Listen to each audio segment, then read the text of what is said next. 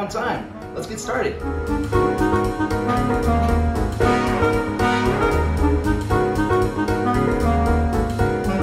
Today we're going to be making a cocktail called Mount Tahoma. That's the Puyallup tribal name for Mount Rainier. It incorporates some fun ingredients that I wanted to play around with. Let's get started. This is Singani 63. That's a Bolivian brandy. We have Saint Germain, an elderflower liqueur. Yellow Chartreuse, this is a French alpine liqueur. And this is a Granny Smith jalapeno syrup that I made. And if you think you can't make it, believe me you can. I'll put the recipe in the comments below.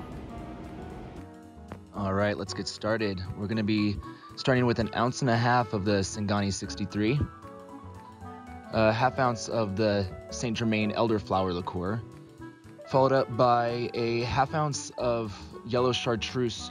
Yellow chartreuse is my favorite liqueur. Um, delicious. I highly recommend you go get some.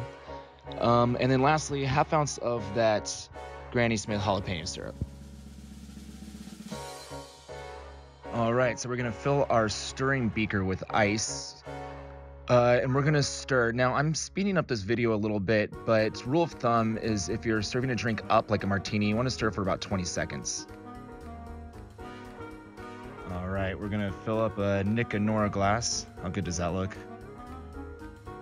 And we're gonna do a cute garnish um, to each their own. This is a Granny Smith apple peel that I trimmed up, kind of gave it a little flourish. And there you have it. How beautiful is that?